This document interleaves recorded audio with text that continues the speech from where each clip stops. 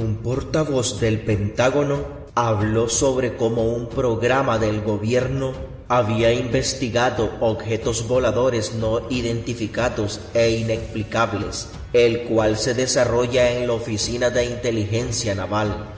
La Fuerza de Fenómenos Aéreos No Identificados tiene como función de documentar, coleccionar y estandarizar los hallazgos de naves extraterrestres. El astrofísico Eric Davis quien trabajó con el programa original de OVNIS del Pentágono y ahora trabaja como contratista de defensa, afirma que después de examinar ciertos materiales llegó a la conclusión de que no podíamos hacerlos.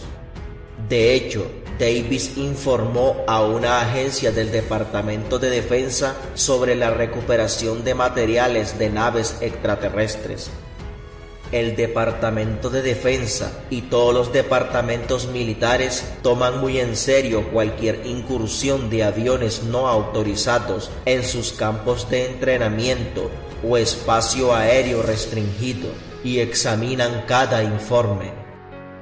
La investigación exhaustiva de cualquier incursión en sus campos de entrenamiento o espacio aéreo restringido, a menudo aplican evaluaciones de todo el departamento y según corresponda, la consulta con otros departamentos y agencias del gobierno de Estados Unidos.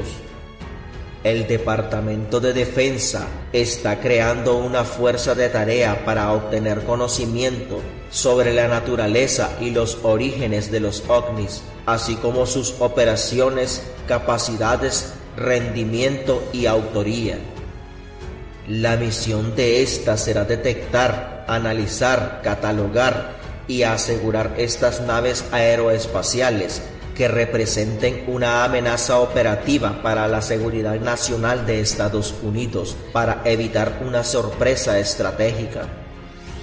Según el testimonio del exdirector de la Fuerza de Tarea de Fenómenos Aéreos No Identificados, Luis Elizondo asegura que el gobierno de Estados Unidos ha estado investigando por años ovnis no fabricados en la Tierra.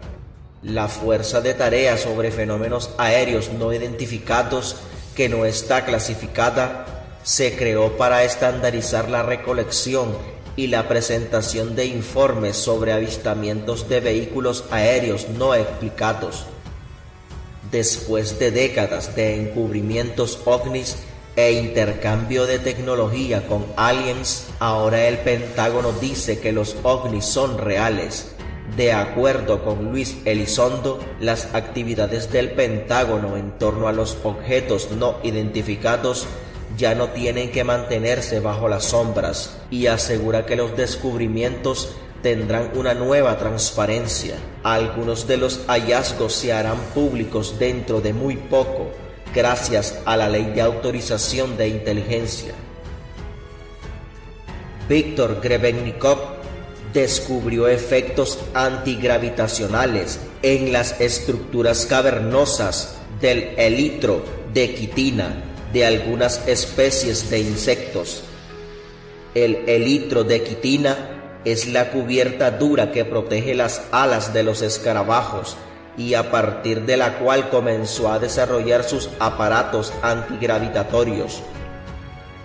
Lo más insólito que comprobó el investigador fue la alteración visual e incluso la invisibilidad total que también se produce en las zonas de alteración gravitacional.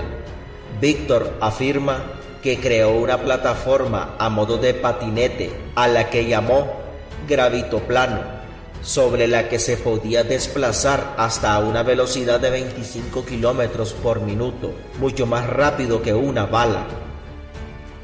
Grebennikov afirma que durante sus viajes en el patín antigravitatorio no sentía el viento y no tenía problemas para respirar normalmente.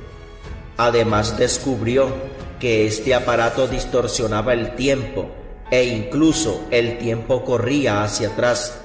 Algunas veces el descubridor del efecto antigravitatorio llegaba antes de salir, lo que producía diversas paradojas. desde verse venir e incluso poder conversar consigo mismo.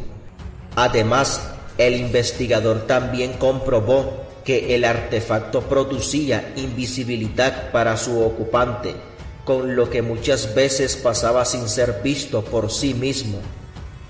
El inventor especuló que probablemente el fenómeno tenía que ver con la desviación de la gravedad por los esqueletos de los insectos. Según las descripciones gráficas incluidas en los registros de patentes, la parte inferior del dispositivo consistía en una lata de pintura llenada con una cantidad muy calculada de exoesqueletos de estos insectos, especialmente posicionados para producir el efecto de antigravedad deseado. Debido a la estructura especial de la cavidad inherente a los esqueletos de los insectos, se producían fenómenos de resonancia concordantes con el campo gravitatorio de la Tierra. Sucesivos estudios posteriores permitieron al inventor desarrollar artefactos antigravitatorios que viajaban en el tiempo o que se volvían invisibles, además de otros inventos que hoy forman parte de nuestra vida cotidiana, como la TV en colores, Internet o los celulares.